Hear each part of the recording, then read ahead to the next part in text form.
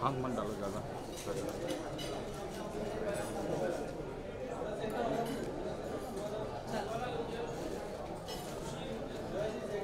Set.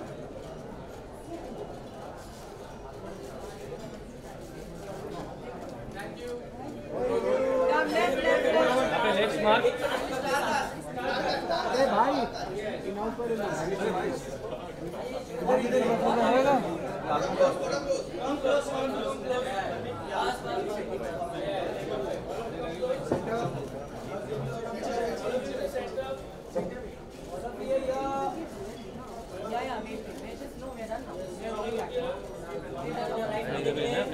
right, right. Okay, okay, okay. Let's just look your picture. thank you guys. No, no, no, Thank you, thank you. अभी यहाँ पे अभी यहाँ पे यहाँ पे यहाँ पे Please take a seat. Big congratulations. You've become an actor. You've come this far. The crowd loves you. What more can we ask for, right? right. You know, uh, you tell us. I saw the song. You're skating like a breeze. How much time did that take? Or were you always a skater?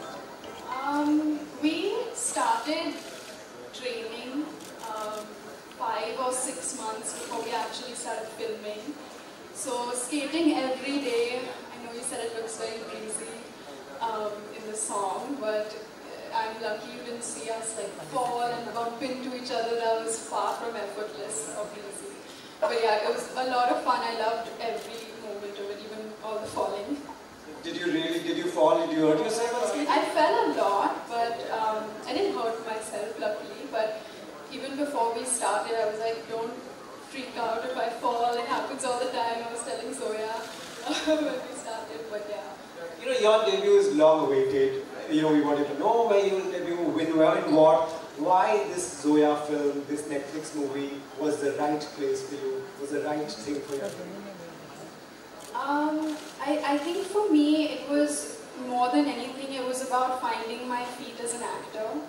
And um, to get this opportunity to be a part of the Archies streaming on a global platform like Netflix and then to work under, under the tutelage of Zoya, it's just, I feel like it was perhaps the best training ground and learning ground I could have asked for as a newcomer or as a first time actor.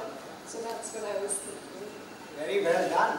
Uh, you know what I can't stop noticing and watching is her style, her clothes. Is it anything to what you wear or what your style would be in real life?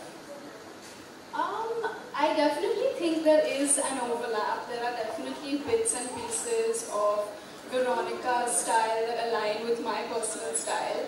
Um, there was actually uh, a scene in the film where I wore my own personal outfit, um, and it worked really well for Veronica, and it's something I was actually wearing, and I saw me wearing it at a uh, bonfire night and said, you know, you should wear this in the film, so that was really cool.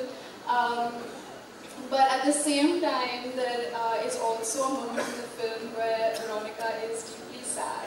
And she's sad, but she's still wearing a fur coat. And when I'm sad and I'm having a breakdown, I prefer to be in my pajamas.